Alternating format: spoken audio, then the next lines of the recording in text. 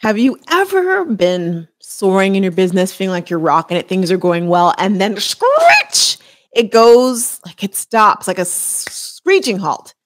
And you're wondering, what happened? Why am I here? And more importantly, what do I do now? I've been there. I bet you're you've been there and you might even be there right now. And today we're going to talk about what to do when nothing seems to be working. You're doing all the things I say to do, and it's just not producing the team members. It's just not producing the sales. You're just not getting the volume. And it is just frustrating.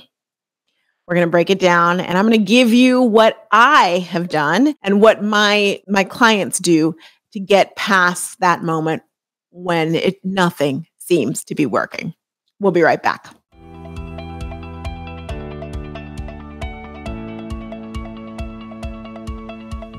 Happy holidays. You know, I can't help myself. Happy holidays. Happy holidays. You might be thinking, Roxanne, it's too soon, but the truth is, I'll stop singing that if you are a network marketer, and odds are you are because that's why you listen to this podcast, it is not about when the holiday season officially starts. In fact, in order to have a great holiday season as a network marketer, as a business owner, you must, you must, you must start working on it early. In fact, now would be good if you haven't already. And that is why I created Sleigh Your Sales. It's for you, network marketers. It's your guide and your strategy to how to do the holiday season. What I love about this moment with you and my ability to, to get you going is that you're not only going to get the, the blueprint that I personally have used in network marketing, but my clients have used over the last few years, and they're seeing growth year after year after year by using this strategy, strategy that I learned through my experience in home shopping that will help you really rock your holidays. I mean, I got a question for you. Do you know, do you have any plan on when your holiday events are going to be, whether they're virtual live? Have you considered what kind of specials you're going to be offering? Do you know what kind of promotions and things you're going to be putting on social media? Are you listening to me going, oh, crap, crap, crap, that's a word now. If you said no to any of those things, then yes, you actually do need to to jump into one of these amazing sessions and learn and get not only learn Learning can be boring, I guess. The word learn sounds boring, but you are going to get what you need, the tools you need to be that CEO that I know you are. The worst thing you can do for your holiday season is just wait and wait for your your network marketing company to give you the promotion or to give you or we're going to do this event. That's too late. I say it again, it is too late. And so I want to empower you and give you the tools that you need to make sure you're rocking it. Now, when you join, um, and when you're what you're going to find when you join the Sleigh Your Sales is not only are you going to get the strategy and the blueprint, but you're also going to get a tracker that's going to help you be really aware of how you're doing on all things during the holiday season. Because the holiday season not only sets you up for success right then, right? Sales, but it also sets you up for success for the next year, for the new year.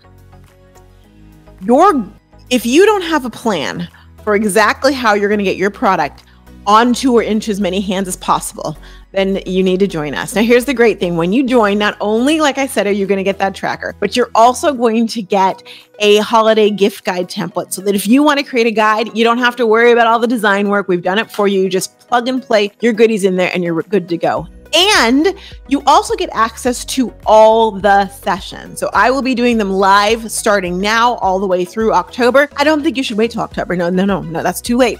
But you will have access to come and come back for more if you like when you join um, the Sleigh Your Sales. So for more information, just simply go to socialstoriesmembership.com forward slash holiday. Can't wait to see you there. Happy holidays.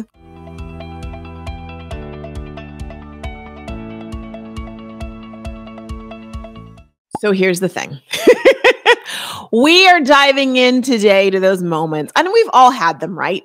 We have those moments in our business where we feel like, okay, I'm going to be coachable. I'm doing all the things. And the things, uh, Roxanne, they ain't a working. Zoinks. What do we do now? What do you do when nothing seems to be working? I remember those times. And, you know, for me, those times would typically come when I had an amazing high where, uh, you know, I'm recruiting like a rock or sales are going, and then nothing.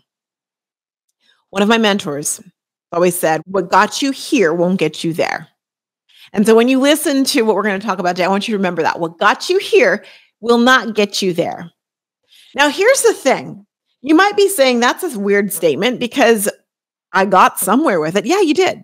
It's just like when you start network marketing and you're told, like, get your list of 100 or get your list of 200 and start reaching out to your closest family and friends when you and I both know that you, there's no way to have 200 close family and friends, but that's fine.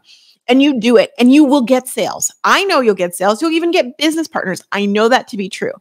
But then it slows down and it wanes. And what you don't realize is while that's happening, you're turning away people and people are seeing you as, oh my gosh, just needs another favor or she seems desperate or eh, this is they're not taking you serious as a business person.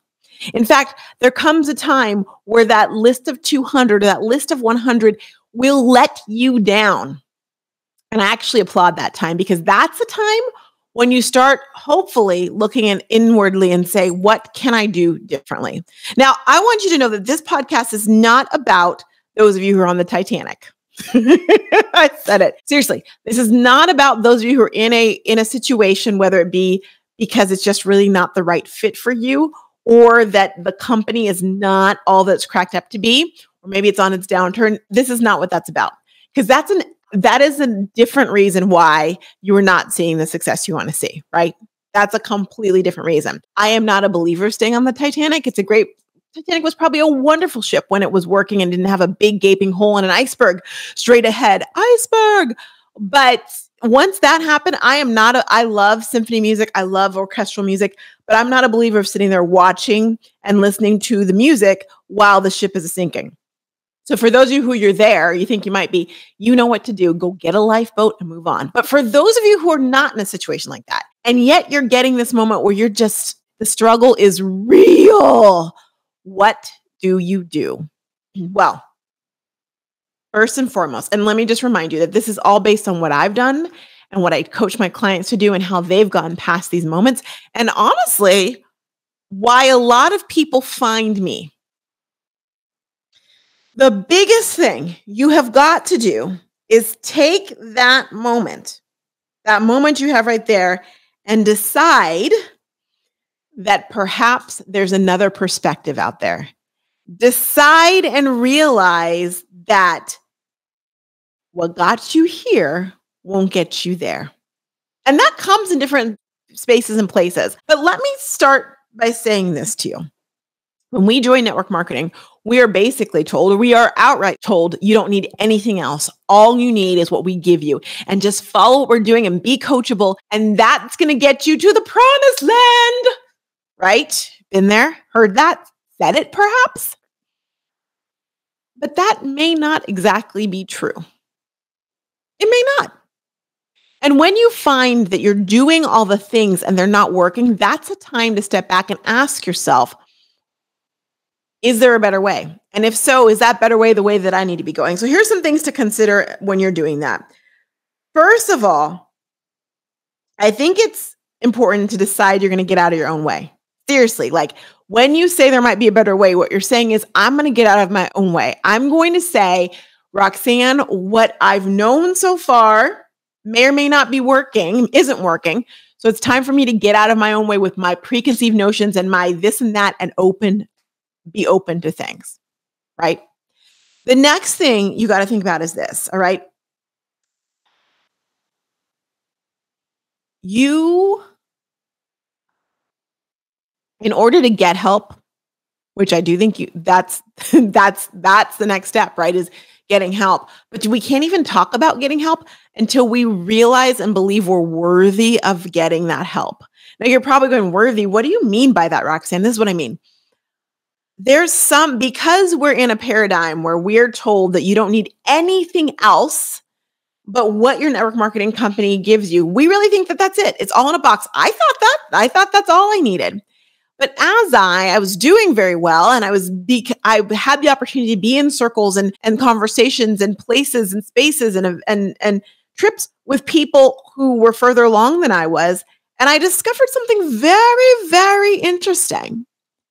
They all had coaches. They all had coaches. And by the way, they all had virtual assistants as well, too, but they all had coaches. They all were getting some type of coaching that was not through the company, that was helping them get to the next height and the next height and the next height. Now, sure, they didn't talk about that with everyone else, but that's what they were doing. So they were sitting there telling us, you don't need anything else. And yet they were getting help themselves.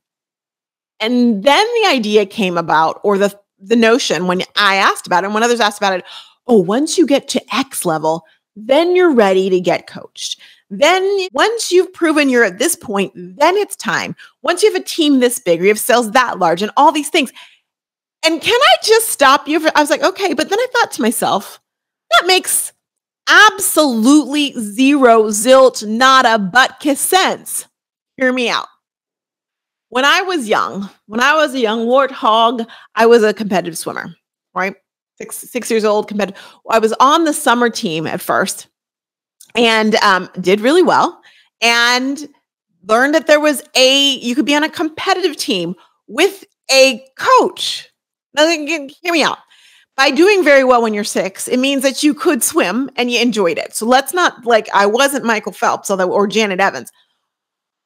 But in order to even see if I could be Janet Evans or Michael Phelps, which obviously I'm not because you know me from that, not here, I needed coaching.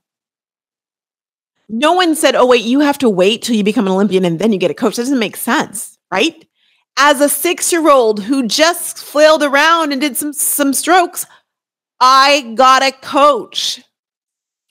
One would say you're not ready. That's normal. When I was in speech and debate, believe it or not, I was in speech and debate in high school. Um, I remember Andrew Mar- Marconi, Annie Marconi, and I. We um, were partners uh, in debate, and we we were enjoying it. We did all right. And at some point, we found out there's something called debate camp. What's that?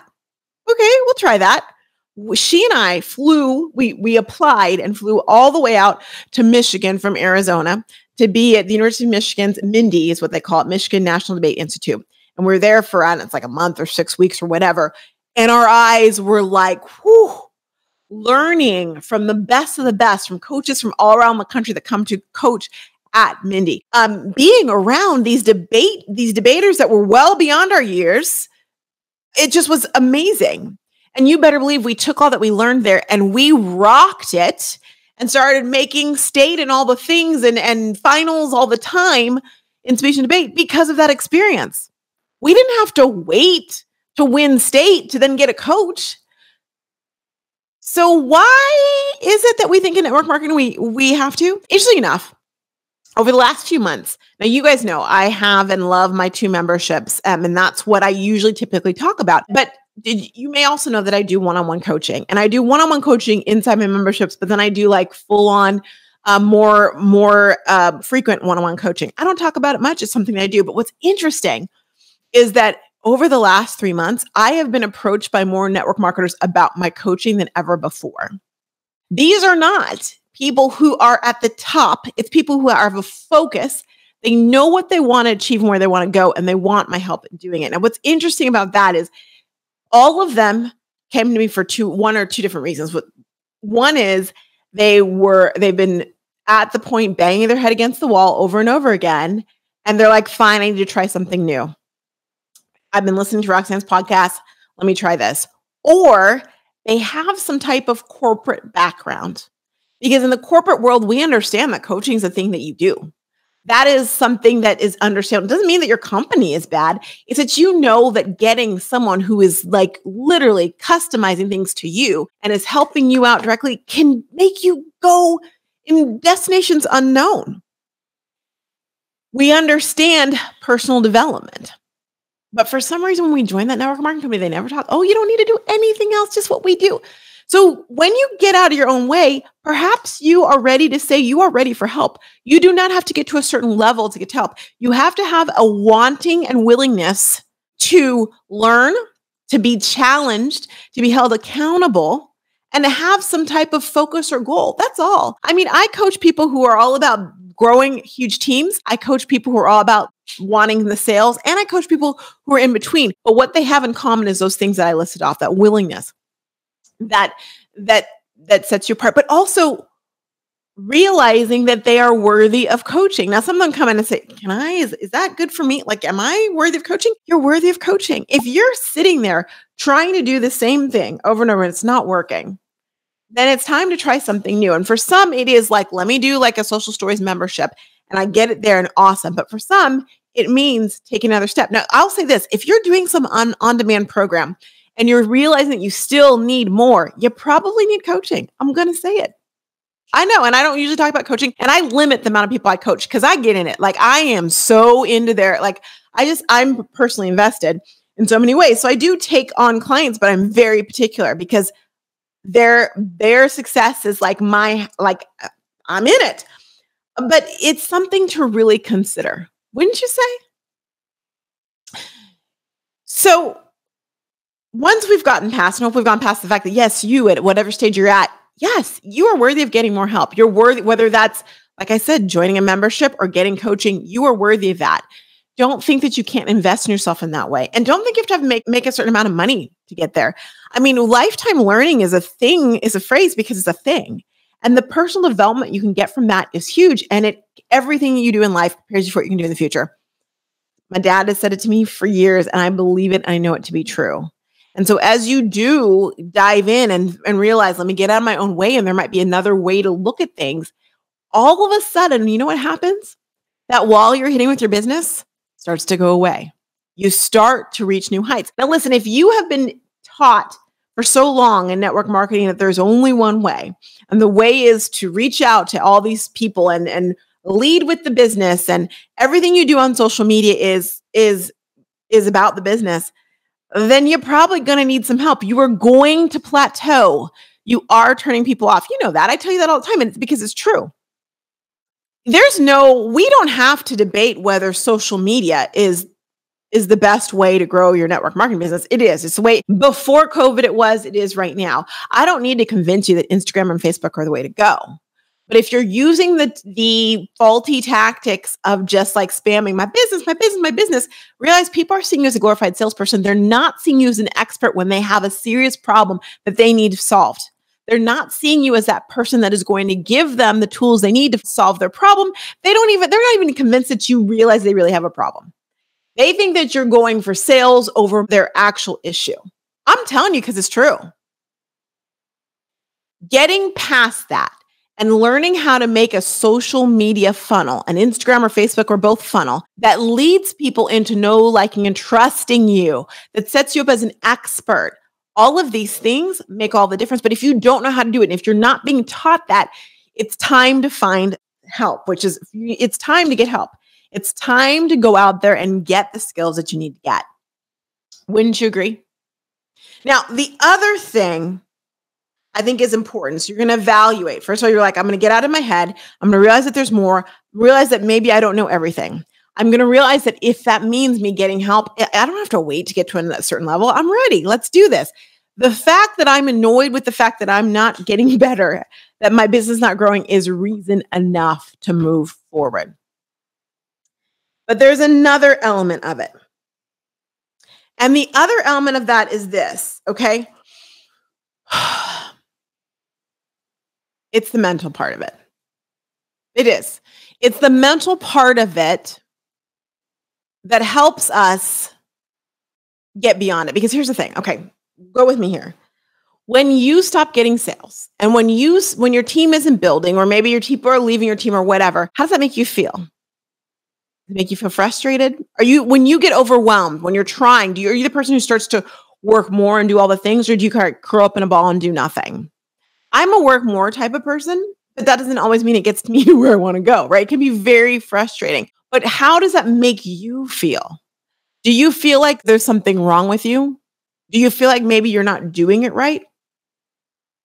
See, as you know, I am big on lifetime learning, and I'm not only in a mastermind for memberships, but I also have a coach, a business coach. It was interesting because I was doing a two day um, training with my coach, and he was telling us, and we're, going through this, and he said something that I thought was so, it struck me, struck me big time.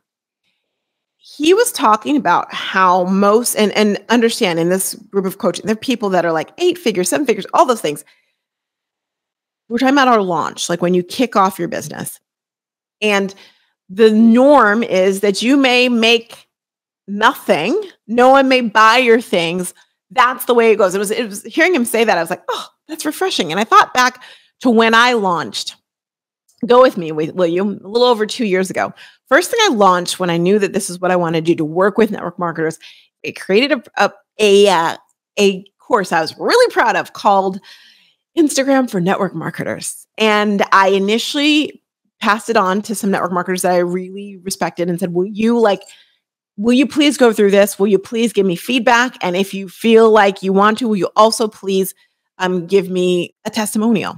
Well, and you can see when I gave it to him, I could see none of them actually. Did. Said, "Yeah, yeah, yeah." None of them actually did it. Cyber, okay. But I I moved forward with it, and I launched it. Here it is, ta-da! And crickets. So many crickets. So much silence. Nobody, no one bought it. No one bought it. No one bought it. And then one day, I got the update. Boom! You have a sale. I was so excited. I'm like, let me see who is this exciting network marketer who bought it. You know who it was? it was my mom. My mom did the sympathy purchase for me. My mom, who ate my chocolate chip cookies with that had eggshells in it when I was little, was the one who bought it. Love her for that. She's not a network marketer. She bought it because she's my mom, and I love her for that. But to hear my coach talk about the the sympathy buy that he experienced and that that's typically how it works in business and to say that freely and for everyone to be like yep yep that's expected it told me a couple things first of all can you imagine if when only my mom bought my very first course if i said forget it not doing it where would we be two years and some change later i wouldn't be talking to you right now I wouldn't have two robust, amazing memberships, social stories membership, which shows you exactly how to build out your Instagram and Facebook funnels so that you can grow your business and so you can grow your team and your sales without actually having to bother your family and friends and spam everyone. That wouldn't be a thing. Wouldn't exist. I wouldn't have hundreds of members who are kicking booty and growing their network marketing businesses. Also, wouldn't have Social Templates Club man, that just started what two months ago. So exciting. The the opportunity for network marketers to get the tools they need to really create a content, like to do 30 days of content, bam, and to have things like carousel templates, which are so important right now on Instagram, but so hard to make, made for them. They just boom, bada boom, bada boom. That that means customized and are good to go. I wouldn't see the amazing results that they're already having. We're a month old, literally, as we record this. Tomorrow is a month. And and seeing the results that they're getting, the sales. I mean, shout out to Megan D, who who recently was like, I'm three weeks in. I've got my 30-day plan, bada bing, and I got my my I got a preferred customer off of my post, which was exciting for her because she hadn't gotten a preferred customer. That's what her company calls them a new one in a long time and boom from doing that. Now listen, when when people have results like that, and you've heard the different social stories members on on the podcast, when you hear about their results, that makes me like I feel fulfilled. I feel like I'm helping you because I am really reach your goals and I'm helping the network marketing industry not be so spammy, not get such a bad rap for being sleazy because we're not. Had I quit at that moment when the only purchase I got on that course was my mom, wouldn't be here. Why do I tell you that? Because A, I don't want you to feel like just because your your business has gotten stagnant that it's time to pack it up or that you are doing something wrong or it's not for you. And the other thing I, I want to remind you is this. If you think about how we start in network marketing, we kind of start with some false advertising. I said it. I said what I said. Why did I say that? Because think about it.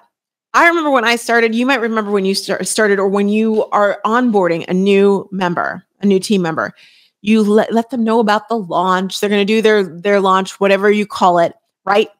And you tell them to invite all these people and it's going to be great and all the things. And if we're being honest with them, we should probably tell them from the get-go, you may not get any sales kind of like my coach said, like, listen, your launch, it may not happen. You may not get any sales, or your sales might only come from your best friends, best, you know, or your your best friend from the time you're five or your mom. Can you imagine if we were honest about that from the get-go? If we set the expectations up so that is what is expected. You may do it and no one may show up even if they've RSVP'd. I want you to imagine that. Because when we set the expectations up realistically, listen, I'm all positive and and you know that, but I'm also realistic and you know that too and I call a spade a spade. If we were honest with network marketers about the fact that when you start your business, you might be starting it to crickets, we wouldn't feel like when nobody shows up that it's a sign that we're not meant for this or everything that our husband or friends said about this is true and about all those fears we wouldn't have those fears if we knew that that's how you start a business. So when i hear my coach saying that i'm like that's so interesting that that online business people they understand that but we don't talk about that as network marketing. And let's here's here's how that applies to you right now. It applies to you right now because the truth of the matter is when we start our journey at that point thinking that our launch should be a certain way and we should get a certain amount of sales and, and we hear of the success stories and all the things, we're already setting our mind up that if that doesn't happen, we're failing. So when we get to the point where we have those plateaus and they will happen, and that's when we have to remember what got us here is not going to get us there. And let's amp it up a little bit. Doesn't matter if you're six months into your business, six weeks, or 10 years, these things are going to happen. They seem so monumental and we can't re- we can't take our emotions away from them and really look at them and analyze them and evaluate them because we've already from the beginning been set up to think that everything we do should equal success. How many of you had a team member that quit? Maybe ghosted you and then she quit. You, I have. How bad did you feel about yourself and about your skills as a team lead and how embarrassed did you feel like you didn't want people to know? Listen, I'm raising both hands, and if I could raise my feet at the same time too, I'm going to jump. I would. And you know what the biggest aha, like chicanery moment was? When that happened, and then I had uplines and sidelines go, Oh, that happened to me. It's okay. Excuse me? That's a thing? You mean this big thing that could make me feel like crappity crap, crap, crap, make me feel like crap with a capital S, ends with T, was bound to happen, has happened to all of you, but nobody talks about it and sets up the framework? You've got to be joking, but I'm not. And you know it's true. When we do that, when we're not real with ourselves and others about what this journey is about, then when we get to a point where nothing seems to be working, we feel like we are the problem. Now, we may be the problem in the sense of like, get out of your own way and invest in yourself, invest in learning more, invest in that. Yes, that could be, a, but it's not that it's on us as in you're a crappy human being. It's not a thing. You're not. But we, or that this is never going to work for us. Henny penny, the sky is falling. We should never have done this in the first place. So it's not too late to realize that, right? Hopefully you've had these aha moments like, yeah, I wish they had told me that. So they didn't. That's okay. You're going to do better because we know better, we do better. So you're going to make sure that you do better for the people coming on your team, but also you've got to let yourself know it's okay. Because if you sit there in the overwhelm or feeling bad because you think that something's wrong right now, and maybe the thing that's wrong is you, and you made the wrong decision to ever do this, you're never going to get further. No, you're never going to get it. Not this time. You're not. But you can if you realize that this is just part of the journey. And as part of the journey, we realize that, acknowledge it, say it out loud. This is part of it. We're going to plateau all right, this plateau is an opportunity for me to, to evaluate. But first, I've got to get out of my own way, realize that I don't have all the answers. And what got me here is not going to get me to the next level. It's just not. It's not. Like when Olympians switch their coaches, coaches they've had since they were like, so they get to a point and they realize if you want to get to the Olympics, you're going to have to upgrade. You're going to have to make some changes. Same thing with us. Great. You did the spammy tammy thing and you got to a certain level and you will. Awesome. Now what? Because that's not going to get you to where you want to go. So let's get it right. So you evaluate. You realize you don't have all the answers. You get out of your own way. You realize that you don't have to wait to get help. if you are at a point where it's not where you want it to be, it's time to get help. And then you find whatever, whomever is out there that might be challenging to you. You know, I have a, so right now, um, we're in the throes of it. I am starting a new program. I say new, it's part, it's new in the sense of, um, it's called Social Stories Pro. And, and I wasn't going to mention it, but I am now. And it's for those who are really clear on what their goals are. And it's a goal that they want to reach between the end of this year and the beginning of the first quarter of next year. It's for those who are like ready to work. And it's a program where they not only get one on coaching, they're getting laser, like small group pod coaching, as well as accountability. I'm going to be in their business for the next six months, helping them get there and beyond. Um, and because it's such a very specific program for people who are and and not specific in the goals. Like your goal could be I want to increase my sales. It can be I want to grow my team, but you just need to or I want to hit a certain title, but you got to know what that goal is and be really clear on it. Um, but because I'm being very specific and particular about it, I'm also having interviews, conversations, whatever you want to call, with those who are interested in it. So we get to see if it's a good good fit. And what's interesting is not only do I hear that I don't think I'm ready, and I'm like, okay, wait, do you have a goal? Do you want to get there? Are you ready to do the work? Well, then, then, then that's not a question. I'm not looking for what, how much volume do you have, and none of that. Like, do you have the will and the want and the chutzpah to get there? Then let's do this. But what's interesting is I was talking to, and she actually she said she listened to the podcast. So shout out to you. I won't say your name, but she she and I met we were talking about it. And she's one of those people that I'm like, I see so much in her and I want her to see it in herself. I can't do it for her, but I can coach her up to it. And um, she said to me, she's like, you know, I listened to your podcast. I've listened to it for over a year now, and you make me feel uncomfortable. Some of the things you say makes me feel uncomfortable. And I kind of smirked. And I, I've been hanging on to that. And I love that. I love it. Why do I love that so much? Because I'm making her think. I'm making her really become that CEO rather than just listening to what everyone is saying, everyone else saying, she's has to really consider wait a moment, that sounds a little counterculture. How does that feel? Do I like that? Could that work for me? And I see, I hope she says, I hope she decides to join because, um, you know, I extended the offer to her and I hope she just decide to do it because she's going to be phenomenal. But part of is that journey. I don't want to be the person that's just like, rah, rah, rah, whatever you say, 100 people, 200 people, reach out to all of them today. No, I've done that. I did it. I did that. I was taught that.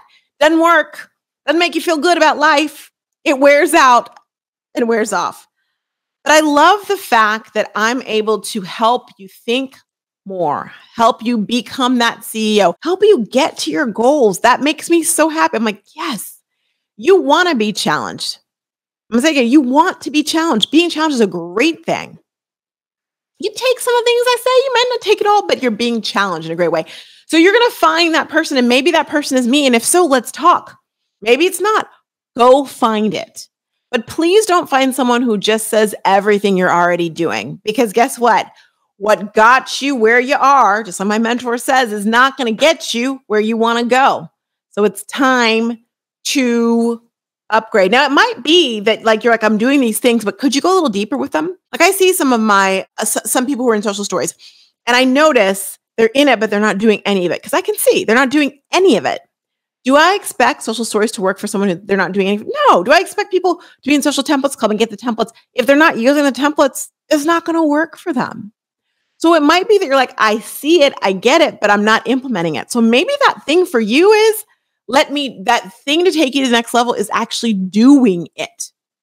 Just saying. I'm not saying, but I'm saying. It's time to get out of your own way. And I know, especially with this time of year, with school coming back, maybe you had a holiday, maybe you didn't, maybe got switched um, with the pandemic and all the things out in the world. There are things that are going to slow you down. It just is the way that's going to be. And that's okay. You just have to get real with yourself on how to get back into the game. Because if you don't, or if you find that you keep trying and it's not working, then it's time to get into action and do something different. I don't mean get into action. Let me just reach out to 20 people because that'll make me feel better. No, it doesn't work that way. Get into action that's going to get you to the next level. All right. We'll be right back with behind the scenes.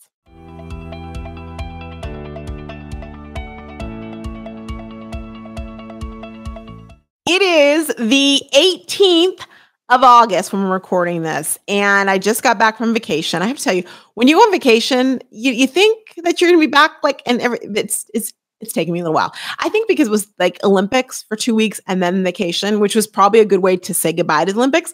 But now I'm just trying to get back into the swing of things. I am getting back in the swing. It's not trying. We don't say that word. I am getting back in the swing of things and making it happen. Um, but vacation was great. We were supposed to go to Puerto Vallarta um, but Mexico's basically shut down because of the pandemic. So we end up going to San Diego. There were great highlights. I got to tell you, we um we went on a train, which I've done the train down to San Diego before, but Scott has never done it. And he was like, Why have I never done this? This is amazing. We did still get to see my family and we saw Scott's daughter and we had a great time. And Baylor got to come with us because we stayed in Cali. So that was all a benefit. I'm getting on a plane tomorrow.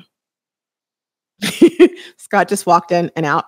and, I said, I'm getting on a plane tomorrow. And he said, he goes, yes, rude. Anyway, um, anyway, I'm going on a plane. I'm meeting up with my sisters or sister. I don't know how many just yet. We're going to Vegas.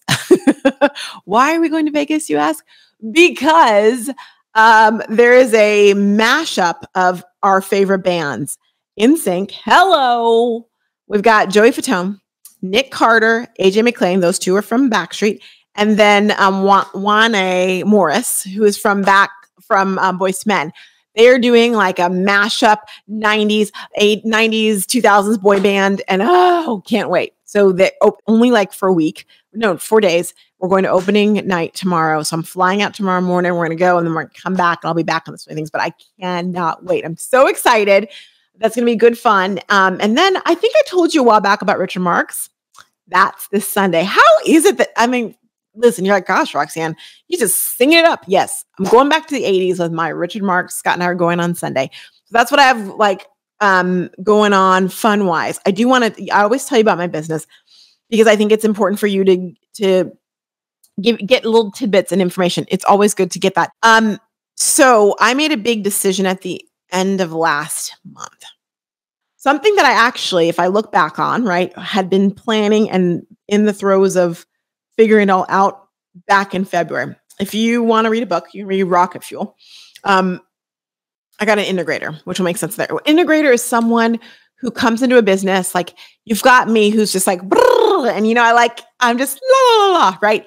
Integrator is someone who's like, here's our standard operating procedure. Here, here's how all of these things work. All the things I don't like to do that don't give me life. And sure, I can do them. I'm educated. I've learned how to do that, but I don't, that's not my strong suit or my happy suit she's going to do. I'm so excited about that. And I have to tell you, to come back from vacation and my first meeting on this week on Monday was with her.